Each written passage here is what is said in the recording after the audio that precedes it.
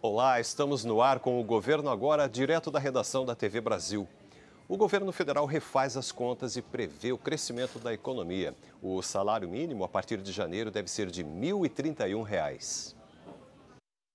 A nova previsão do salário mínimo de R$ 1.031 faz parte de uma série de alterações no orçamento do ano que vem. O reajuste foi menor que o previsto porque houve uma redução na previsão de inflação para este ano.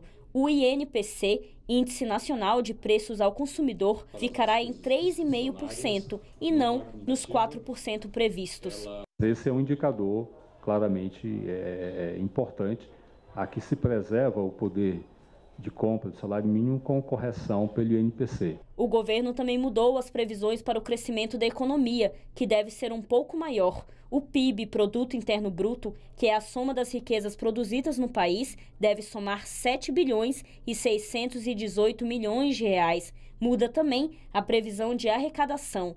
Isso por causa de medidas como o fim do seguro TPVAT, que retira 1 bilhão de reais do orçamento de 2020. O governo enviou as propostas de mudança nesta terça-feira ao Congresso Nacional. Mudanças na Embratur, que agora passa a ser Agência Brasileira de Promoção Internacional do Turismo. A repórter Daniele Popov explica para gente. Olá, Roberto. A medida provisória tem o nome de A Hora do Turismo e foi publicada na edição de hoje do Diário Oficial da União.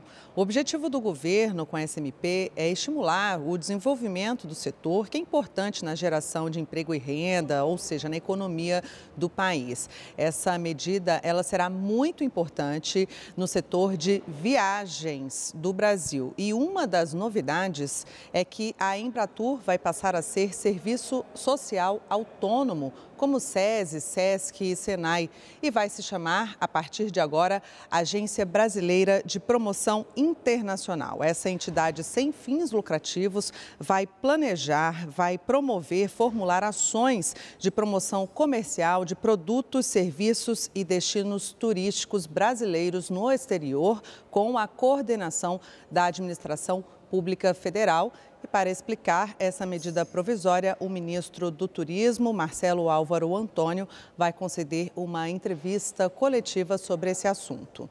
Daniele Popov para o Governo Agora. E a gente fica por aqui. Você também continua bem informado pelas nossas redes sociais. Até a próxima edição.